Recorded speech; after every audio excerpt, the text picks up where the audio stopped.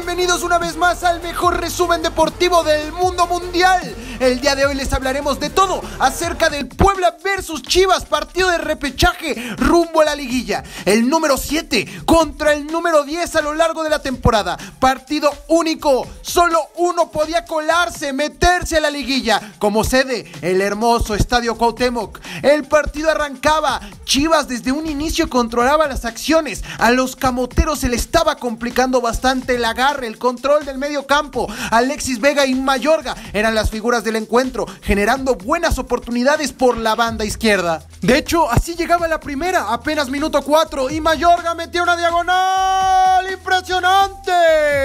Pero no lograba llegar Saldívar y Chivas se quedaba con el sabor en la boca. Pero tranquilos, chivermanos, que apenas un minuto después, Vega mandaba un centro. La defensa del Puebla despejaba horrible y le quedaba al Cone. Y fuera del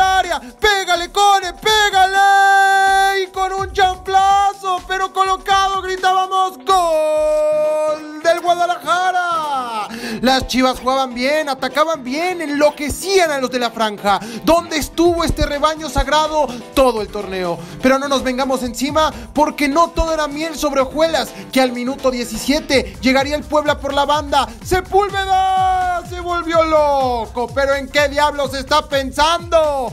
Van ganando y dominan con superioridad. Y se avienta como gordo en tobogán, maldita sea, sobre el delantero de Puebla.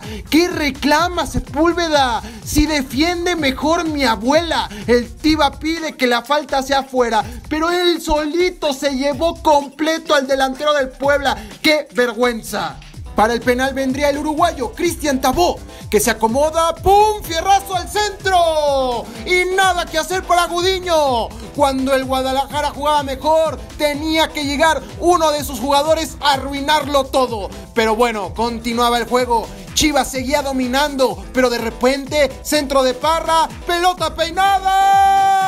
¡Ay, ay! No logra cerrar Memo Martínez. Y Puebla casi le da vuelta a esto. Minutos finales del primer tiempo y Gudiño se metía en un problemón por querer evitar un tiro de esquina. Pero Dios jugaba de este lado, del lado rojiblanco. Y la pelota se iba a un lado. ¿Qué diablos estaba pensando el portero rojiblanco?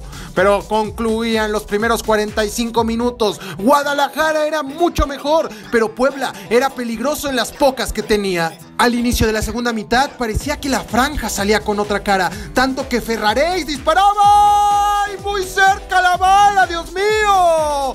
Puebla está perdonando, pero al 51 otra vez los camotes atacaban. Cristian Tabó, tiro centro. Ay, Gudiño se vuelve loco, pero como puede, la manda fuera del arco. Las chivas se están volviendo birria. Pero ok, no nos exageremos, tranquilos, respiremos. Que los tapatíos al pasar los minutos volvían a dominar. Tiro de esquina para los rojiblancos.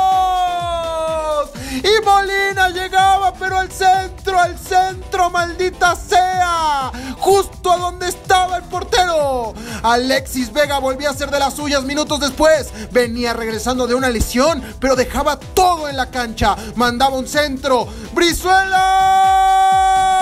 Y el portero Anthony Silva se está volviendo Cristo. Otra vez salva la franja. Atajadón. Chivas mejoraba poco a poco. Otra vez el Cone. Brizuela. Centro impecable. ¿Y qué pasó? Decimos gol. Mayorga hace un movimiento espectacular. Y el rebaño ponía el marcador 1 a 2. Por 30 minutos no pasó nada. Chivas se veía dentro de la liguilla, pero el Guadalajara hizo algo vergonzoso. Aplicó la de equipo chico y mientras Puebla hacía hasta lo imposible por empatar, Chivas fue conformista y se echó para atrás. Y aunque habitualmente el fútbol no es justo, hoy, amigos, hoy sí lo fue. Al minuto 89 exactamente, Puebla tenía un tiro de esquina y las esperanzas en un balón. El centro de Maxi Araujo. ¡Golazo de la franja! Briseño que entró de cambio perdió la marca. La franja empata y tiene ánimo para ganar. Los dos goles de la franja son regalo de dos defensas de las Chivas, maldita sea, Sepúlveda y Briseño. Si esos son tus jugadores, ¿para qué quieres rivales? En fin, culminaba el encuentro. Aquí no hay tiempos extra, tenemos penales directos. Para no aburrirlos, se los resumo. Tanda cardíaca, Gudiño y Anthony Silva fueron murallas. Chivas tuvo la oportunidad de ganar, pero lo dejaron escapar. Lo mandaban a muerte súbita. Otra vez el Guadalajara tenía la oportunidad ahí para hacerse con el triunfo. Después de una tajada excelsa de Gudiño a Javier Salas. Pero ay, mi madre, el Mohamed Salah, mexicano, el chino Huerta, la dejó ir. Penal número 8 para el Puebla. Cobra y atina. Partido 6 a 5. Le tocaba a Chivas para continuar con todo esto. Y el héroe se convirtió en villano. Mayorga tiraba. ¿Y qué te digo? ¿Para qué te lo cuento? ¡La falló! Triste, triste, había sido uno de los mejores el día de hoy. Y ahora Chivas termina perdiendo por su culpa. Puebla avanza la liguilla. Y Chivas, bueno, el rebaño otra vez eliminado. El año pasado fue con Pachuca y este año con Puebla. Tristísimo. Ni con repechaje entran. No pelean nada. Traigan Almeida otra vez, por favor. Suscríbete a nuestro canal, pica la campanita para que te llegue la notificación de nuestro próximo video. Te invitamos a dar like, seguirnos en Facebook, compartir para que más gente vea esta información y este contenido.